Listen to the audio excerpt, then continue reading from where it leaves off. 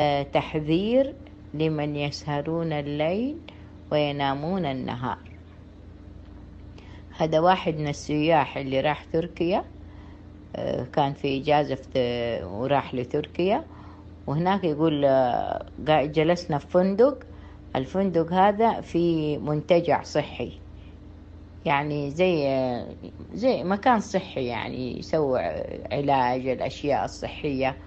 وهذا يعني كان عالمي مشهور هذا المنتجع. فعنده جوائز عالمية وزي كده. ويقدم مختلف أنواع العلاج الصحية. يقول أخذني الفضول وقلت خلينا نستفيد من العلاج حق المنتجع هذا من باب التسلية.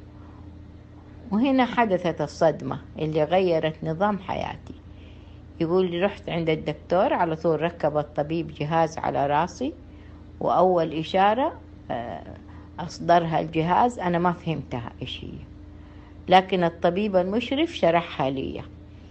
قال لي أنت كم ساعة تنام بالليل؟ سألته ليش هذا السؤال؟ قال له لأن الجهاز الإشارة الإلكترونية تقول إنك ما تنام في الليل. قلت له نعم. أنا أقضي ساعات طويلة من الليل على النت والتلفاز وبعدين أنام في النهار.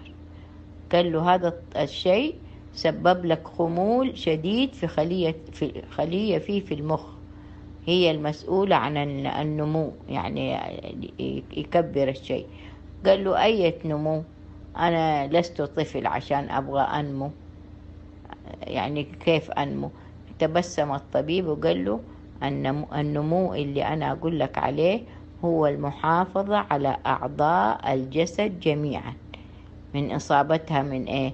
بالشيخوخة بدءا بالجلد والقلب والكلى والكبد والأمعاء والعظام إلى آخره أجهزة الجسم. قال له هذه الغدة اللي في المخ لا تعمل في النهار. هذه الغدة اللي مسؤولة عن النمو ما تشتغل في النهار. هي تتوقف عن العمل في الفجر. تشتغل طول الليل وتتوقف في الفجر. عملها فقط بالليل إذا كان الإنسان نائما. وإذا ما كان نايم هاجمت الأمراض أعضاء أجسادنا. الهرمة التي لن تقوى على مقاومة الأمراض. ومن تلك اللحظة هذا الشخص يقول من تلك اللحظة قررت أن أستعيد نظام حياتي الذي شوهته التكنولوجيا الحديثة بالسهر. وأنا أردد قال تعالى وجعلنا الليل لباسا.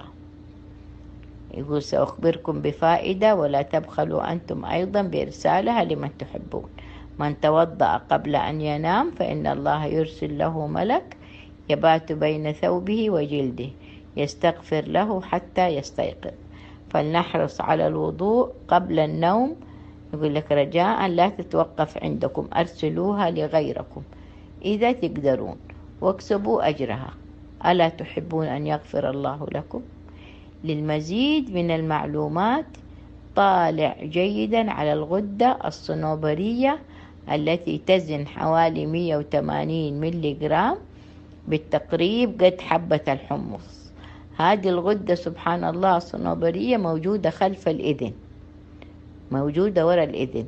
متى تعمل؟ تعمل في الظلام فقط. من بعد صلاة العشاء إلين قبل الصبح بساعتين. وهو عبارة عن لقاح مجاني من عند الله عز وجل. لا يستفيد منها إلا من ينام بعد العشاء وفي الظلام. هذا إن شاء الله نستفيد ويا رب إن شاء الله نقدر ننام. صح ننام يوم وهذا بس نحاول إنه كل يوم ننام من بعد قول الساعة 12 يعني خليها لين الساعة 12 لين الصبح حتى لو كملنا بعد الصبح بس يكون أخذنا جزء من الليل نايمين.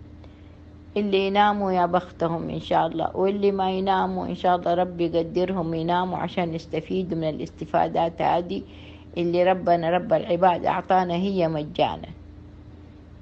الله إن شاء الله يتقبل مننا ومنكم يا رب. حاولوا حبايبي تناموا خذوا وقت كافي من النوم. عشان الخلية اللي في المخ وعشان الغدة الصنوبرية. بارك الله فيكم. مع